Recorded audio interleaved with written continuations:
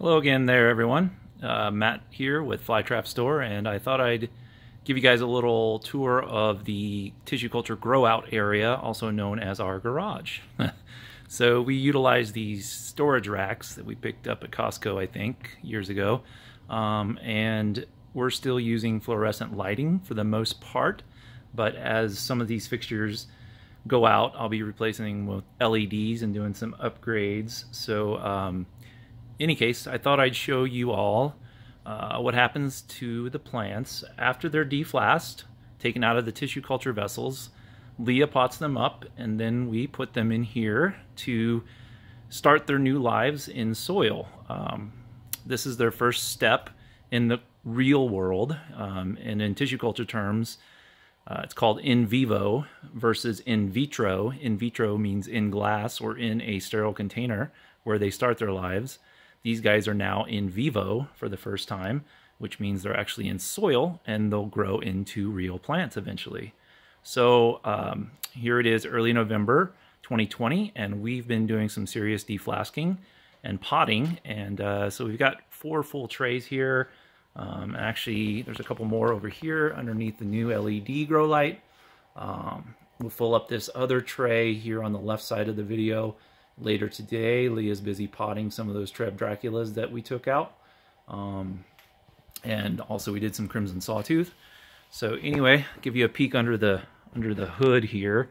These uh, humidity domes help keep the humidity high because in the tissue culture vessels, the plants actually have 100% humidity and that's what they're used to. So if you were to just throw them in ambient humidity, it might kill them. So what we do is keep the humidity high while they grow roots and actual foliage, foliage that's more adapted to ambient humidity.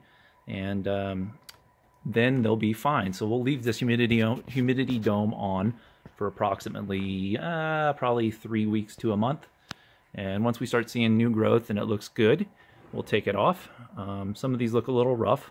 Some of them transition more easily than others, but uh, all these guys here will be growing out for the next few months here indoors. Uh, there's some big behemoth, looks like, and over here we have some Reader Giants. Number two, excited about that guy. Fuse Tooth here in front. Each of these trays have several clones in them, so that's just a few you can see in front. Whip Long Snapper over there. Um, so yeah, they'll be growing out here for the next couple of months at least, probably through January. Then we'll move them out to the greenhouse and uh, get them some time in natural sunlight. Um, and they'll actually probably go dormant a little bit out there. Assuming we move them out in January, they'll slow down and hunker down for a little bit. And then they'll pick up with their natural growth cycle uh, starting in probably March. They'll start putting out new growth, assuming we have a normal spring. Um, and by May, they should look pretty nice and hopefully we can have them ready for new homes by then. So anyway, uh, here's some cayenne back there.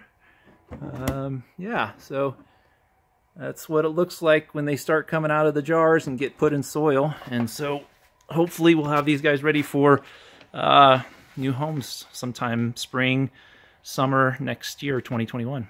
Okay, so yeah, this is the Fly Trap Store deflasking tissue culture grow out area before they move out to the greenhouses. Uh, thanks for watching, guys. Catch you next time.